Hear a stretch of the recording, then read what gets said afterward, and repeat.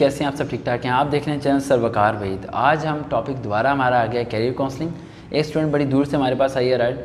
You के पास से तो हम उनके बारे में डिस्कस करेंगे। और नाम तो उनका नहीं पूछेंगे, क्योंकि नाम उनका सीक्रेट रहेगा।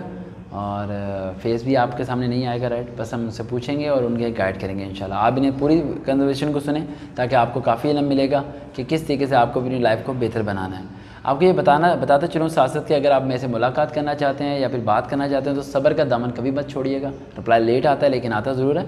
आप फेसबुक पर जाकर सर्च करें Waqar dot Waheed one two one और वहाँ जाके फॉलोअप कीजिए। इंस्टाग्राम पे फॉलोअप कीजिए यूट्यूब पे जाके सब्सक्राइब कीजिए, आपको कॉन्टैक्ट नंबर कहीं ना कहीं से मिल जाएगा। व्हाट्सएप पे एसएमएस करके अड़तालीस घंटे इंतज़ार करें ताकि आपको रिप्लाई आ जाए। होता क्या है बर्डन बहुत ज़्यादा होता है रोज़ाना के तीन हज़ार से ज़्यादा एस एम एस आ रहे होते हैं व्हाट्सएप पे, और इन सब चीज़ों को मैनेज करना, ऊपर से मैसेंजर पे लादा एस एम एस नंबर पे लादा एस एम एस फेसबुक पे लादा एस एम एस इंस्टाग्राम पे लादा एस एम एस तो हमारे अकेली कमज़ोर सी जान के लिए सब चीज़ें मैनेज करना मुश्किल होता है, साथ साथ पढ़ाना भी सब चीज़ें करना। तो जिन बच्चियों को से मैं मुलाकात नहीं कर पाता, जिन बच्चों से मैं मुलाकात नहीं कर पाता, वो मेरे से ज़रा भी नाराज़ मत हैं मैं इंशाल्लाह शहर से शहर अब आने वाला हूँ। पहला हमारा इस्लामाबाद टूर है फिर कराची टूर है दैन आगे फॉरवर्ड है। तो हम लोग मुलाकात करेंगे आप लोगों से और आपके मसलों को हल करेंगे इन यस बेटा अब बताएँ आपकी तालीम कितनी है?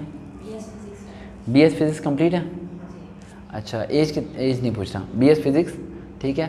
और क्या करना चाहते हैं? सर मैं फ़िलहाल तो टीचिंग जॉब कर रही हूँ लेकिन मेरा जो है वो कुछ टीचिंग प्राइवेट कर रही हैं आप है ना? ठीक है। घर वाले क्या परमिशन देते हैं? लड़कियों का जब भी मामला होता है, मैं घर वालों के बारे में लाजमी पूछता हूँ। क्योंकि लड़कों का जो मामला होता है ना, वो घर वाले कहते हैं, दफ़ा हो जाए यहाँ से, जो मर्ज़ी कर, जहाँ मर्ज़ी कर, चाहे सब्ज़ी बेच, कूड़ा उठा, जो मर्ज़ी कर, हमारे सर से उतर। लेकिन लड़कियों का जो मामला होता है, उसमें बाप, बेटा, ठीक है, भाई और पता नहीं कितने फ़र्द हैं जो फ़ैसले करने के लिए पंचायत में बैठ जाते हैं और उनके फ़ैसलों पे वो लड़की डिपेंड करती है। इसलिए हमें ये क्वेश्चन पूछना पड़ता है। थोड़ा कड़वा सवाल है, लेकिन होता है। यस बेटा बताओ फैमिली क्या अलाउ करेगी क्या अलाउ नहीं करेगी? फैमिली ज़्यादा दूर का भी अलाउ नहीं करती और ज़्यादा यानी कि जिसमें जेंट्स वगैरह ना हो। अच्छा जहाँ जेंट्स ज़्यादा हों तो वहाँ भी नहीं जॉब करने देगी। ठीक है। आपकी एजुकेशन क्या है? B S B S physics अच्छा तो बी एस फिज़िक्स तो वंडरफुल है गवर्नमेंट जॉब के लिए। बी एड किया आपने? बी एड करें लाजमी बी तो अभी वन ईयर का हो रहा है पंजाब यूनिवर्सिटी से ठीक है? बी करो एक साल का और बी करके ना आप ठीक है? आप फिर आप जो है ना इस चीज़ को यूज़ करो आप टीचिंग के लिए। जॉब्स के बारे में एजुकेटर की? एजुकेटर की आ रही है नवंबर में जॉब्स आ रही हैं उसके बाद पीपीएससी एनटीएस की जॉब्स आ रही हैं राइट उन दोनों जगह अप्लाई करना है लेकिन बीएड से बीएड पहले कर लो आप। बीएड के तीन नंबर मिलते हैं आपको थ्री मार्क्स मिलते हैं एग्रीगेट में। और एक बुक लो कौन सी? एजुकेटर एनटीएस लिख लो कहीं पर चीज़ें। लिख लो ये चीज़ें ना। या पिक्चर ले लेना मोबाइल से, ठीक है? एजुकेटर एन टी की आपने बुक लेनी है और वहाँ से आपने तैयारी करनी है पीपीएससी के एक और पेपर आपने लेने हैं पिछले पाँच साल, ठीक है? फिजिक्स के मतलब लेने हैं, अपने सब्जेक्ट के मतलब ये लो, नवंबर की पंद्रह या बीस तारीख को एजुकेटर की जॉब सारी अप्लाई करो टेस्ट की तैयारी मैं कराऊँगा। बाकी अच्छा जो बच्चे एजुकेटर में अप्लाई करते हैं, इनका बड़ा क्वेश्चन आता है कि सर टेस्ट पास हो जाता है जॉब नहीं मिलती। टेस्ट पास होने के बाद जॉब इसलिए नहीं मिलती क्योंकि आपको ये लगता है कि वो आपको फ़ोन करेंगे। वो लोग कभी फ़ोन नहीं करते बेटा। मसला यहाँ पर ये है। आप लोगों का जब टेस्ट पास हो जाता है एनटीएस का कोई भी, ये बड़ा एक इंपॉर्टेंट क्वेश्चन है। कि टेस्ट पास होने के बाद आपको लगता है वो आपको फ़ोन करेंगे। आप कहते हो सर जी पचपन नंबर आए, लेकिन मेरिट में नाम नहीं आया। मेरिट लिस्ट कहाँ आई है? मेरिट लिस्ट तो आई नहीं है। और ना उन्होंने आपको कॉल करनी है। जैसे ही आप लोगों का टेस्ट पास हो जाए, पचास से ऊपर नंबर आ जाए और आप पास हो जाओ। समझ आ रही गुड़िया? उसी टाइम वो लेटर लेके आप ईडी ऑफ़िस पहुँच जाओ। कहाँ पहुँचो? ई ऑफ़िस लिख लो ये पॉइंट एजुकेशन डिपार्टमेंट लास्ट में मैंने जितनी लड़कियाँ करवाई हैं, वो सारी इसी तरीके से करवाई हैं। वो पास थी, वो पिछले साल पास थी, वो गई नहीं। इस बार जब पास हुई तो फिर मैंने उन्हें बताया। ई e ऑफ़िस चले जाना आपने, वहाँ कलर के पास जाके मिलना है कि भाई, मेरा ये टेस्ट है, ये पास है, कब लिस्टें लगनी है? वो आपकी चेत तरफ़ ऐसे देखेगा। लग जाएँगी लिस्टें कहना, नहीं सर, मुझे बताएँ लिस्टें कब लगनी है? ठीक है? प्यार से पूछना, गुस्से से नहीं पूछना, ठीक है? तो वो बंदे पागल होते हैं, सारे के सारे, दिमाग फिर होते हैं उनके। तो वो क्या लिस्टें कब लगनी है? ठीक है? तो आप जो से ना वो बता देंगे कि इस दिन आज लिस्टें लगी हैं। फिर आप जाओगे, उन्होंने गंदी सी दीवार पे ना, गोंद से ना चिपका चिपका के ना लिस्टें लगाई होंगी। ठीक है? ठीक है? जिस तरह थूक से बच्चे कागज़ नहीं रंप करते, वो वाली गंदी गोंद से, ठीक है? पूरे पीले पीले दीवारें भरी होंगी उन्होंने। वहाँ जाके आपने अपना नाम ढूंढा। वहाँ जी आपको अपना नाम मिल जाएगा। जैसे आपका नाम मिल जाएगा, आपने वहाँ की तस्वीर ले लेनी है। वो कंप्यूटर नेट पे अपलोड नहीं करेंगे। तस्वीर ले लेनी है, फिर उसी के बाद चला जाना कलर के बाद दोबारा। चाचा जी, आप बताएँ, मैंने क्या करना है? वो कहेगा बदतमीजी से कहेगा, जाओ तीसरे फ्लोर पे, वहाँ जाके फॉर्म लो फिल करो। आप तीसरे फ्लोर पे जाएँगी फॉर्म लेके फिल करेंगी, और ये सुनने वाले को बड़ा फ़ायदा हो रहा है इस वीडियो का राइट फॉर्म लेके आप फिल करेंगी, और फिल करने के बाद आप वहाँ पर जमा करेंगी तो वो आपको टोकन नंबर नहीं देगा। आपने टोकन नंबर उससे लेना है, वरना वो आपका कागज़ नीचे रख देगा, और आपकी जगह किसी और लड़की का फॉर्म रख देगा। यहाँ एंड तक फाइट करनी पड़ेगी। सारा समझ आ रही है? एंड तक फाइट करनी पड़ेगी। अगर आपने भी जी टी जाना है ना, या किसी लेवल तक एंड तक आपको फाइट करनी पड़ेगी, फिर जाके मंजिल मिलती है यहाँ। यहाँ मंजिल लेनी नहीं बल्कि छीननी पड़ती है। क्या करनी पड़ती है? छीननी पड़ती है। यहाँ पाकिस्तान में वो सिस्टम है बेटा। अच्छा वो आपको टोकन नंबर देगा पीले कलर के पेज पे। येलो कलर का पेज होगा और उस पर वो आपको टोकन नंबर लिख के दे देगा। Three two one three twenty one A B section बना देगा आपका। वो लेके आपने दोबारा आ जाना नीचे चाचा जी के पास। उन्हें कहना चाचा जी टोकन में मिल गया आप बताएँ क्या करूँ? वो कहेगा इस इस डेट को आपने आ जाना है। उस डेट को आपने चले जाना है और वहाँ लिखा होगा इंटरव्यू के लिए कॉलेज नेम आपने उस डेट को इंटरव्यू के लिए कॉलेज में स्कूल में बत, जहाँ बताया होगा वहाँ पहुँचना है ओरिजिनल डॉक्यूमेंट लेके वहाँ पाँच मिनट का इंटरव्यू होगा पाँच नंबर का।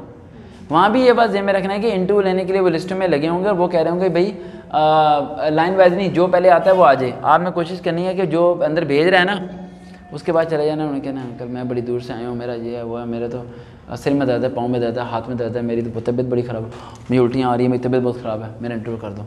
ठीक है वो जल्दी इंटरव्यू करा देगा। ठीक है? थोड़ी सी एक्टिंग कर लेना। सर मेरे चक्कर आ रहा है सर मेरे चक्कर आ रहा है। मेरी तबीयत बड़ी ख़राब है। ये मत बोलना ये कोरोना है। वो कहेंगे ओए भाई तेरी खैर सारे पीछे हो जाए इससे तो कोरोना है। इसका तो इंटरव्यू दूर से ही ले लो बस ठीक है जी हो गया। तो तो कोरोना पता नहीं किधर गया है ना? मैं दो दिन से सोच रहा था ये हुकूमत भूल गई है या आवाम को नहीं याद। नहीं कोरोना की वैल्यू ख़त्म हो गई है ना? किधर गैप हो गया है ना? छुट्टियाँ किधर गई सारी चीज़ें? पता नहीं किधर गया। नहीं लेके आएँगे ये दोबारा। ये भी है बिज़ी है, हुकूमत बिज़ी है ना अपोजिशन के तरफ़। याद नहीं आ रहा इन्हें कब लेके आना है। दो, तीन महीने बाद ले आएँगे बेटा। अभी तो टाइम नहीं मिल रहा है इन्हें। पता नहीं खबरें कहाँ से चला रहे थे कि इतने बंदे मर गए, इतने बंदे मर गए। मैं कब्रस्तान गया। मैं क्या इसे तो पता होगा यार कितने मर रहे हैं। ठीक। मैंने कहा, भाई, क्या हिसाब चल रहा है? कह रहा, वही यार रोज़ाना के एक दो रहा है। मैंने कहा, खबरें चल रही हैं, पचास पचास मर रहे हैं? कह रहा, नहीं यार। मैंने कहा, क्योंकि तुमसे बेहतर तो किसी को नहीं पता ना। अगर वो मर रहे हैं तो जा रहे किधर हैं? अगर वो कब्रस्तान नहीं आ रहे वहाँ मर रहे हैं और नाम भी नहीं बताते और कुछ भी नहीं बताते थे पचास बंदे मर गए सौ मर गए डेढ़ सौ मर गए। पूरा पूरा अच्छा। और इलाके में कोई उन दिनों जो फोत हुआ उन्हें कोरोना के नाम दिया बेचारा वैसे ही कोई हिचकियाँ लग के फोत हो उसे भी कोरोना के नाम दिया उन्होंने। कितना इन्होंने ऐसे मिस गाइड किया इन्होंने हाँ बी एड करना है। नहीं नहीं आप एम फिल है ना आपको बी एड करने की ज़रूरत नहीं है। वो बी एस है ना। और आप दोनों का साथ ही फॉर्म फिल करूँगा, ठीक है? फॉर्म में ही फिल करूँगा, क्योंकि फॉर्म में ना ये जे मेरे को अच्छा एक बात और बताना भूल गया। जब आप वहाँ से वो फॉर्म देगा आपको फिल करने के लिए, उसमें बीस ट्वेंटी नंबर्स होंगे, वहाँ कॉलेज कॉलेज आपने लिखने हैं लाइन वाइज यानी पहले आप किस कॉलेज पे जॉब करना चाहते हो? जो आप, आपने कोशिश करना है कि गाँव के कॉलेज लिखने हैं, जहाँ पर कंपटीशन कम हो, आपने शहर के नहीं लिखने हैं। लड़की का ट्रांसफ़र हो जाता है बेटा ट्रांसफ़र की आप टेंशन ना लो। जॉब मिलकर ट्रांसफ़र हो जाता है लड़की का। लड़के का ट्रांसफ़र नहीं होता। वो कहते हैं, जो मर जाए, जी जाए, वहीं रहेगा जी। समझ आई? नहीं जॉब्स आनी है। अब जॉब्स आनी है क्योंकि सीटें बहुत ज़्यादा खाली हैं। ये पिछले तीन साल से भर्ती हुई नहीं है। जॉब्स आनी है, एकदम आनी है ज़्यादा सारी। नहीं नहीं, सबको पे मिल रही है बेटा, सिर्फ़ उन्हें पे नहीं मिल रही जिन्होंने बीएड नहीं किया हुआ। इनका एक रूल होता है, ये बड़ी आवाम तरस खा रही होती है कि टीचरों ने धरना दिया हुआ है, इस्लामाबाद में, वो कह रहे हैं, हमारी तनख्वाह दो। इनका रूल होता है कि भाई, जब आप टीचर भर्ती हो गए तो आपको तीन साल के अंदर बी करना पास है। तो तीन साल के तो उन नलायकों ने बी पास नहीं किया। तो कसूर तो उनका है ना। बी एड एक एक साल में पास हो जाता है। वो कहते चलो पास ना हो तो कम से कम यही बता दो कि तुम तीन साल से फेल हो रहे हो। इन्होंने दाखिला नहीं भेजा बी का। कम से कम ये तो बताया ना कि बी में कर रहा हूँ लेकिन फ़ेल हो रहा हूँ मैं। ठीक है चलो फिर बंदा वो हुकूमत मान लेती है कि चलो भाई ये बात है। ये पाँच फाइव मार्क्स होते हैं। लेकिन आपको एम के नंबर मिल जाएँगे ना। एम का आपको टेन मार्क्स मिल जाएँगे बेटा और सैलरी में फाइव थाउज़ेंड इंक्रीज़ होगी।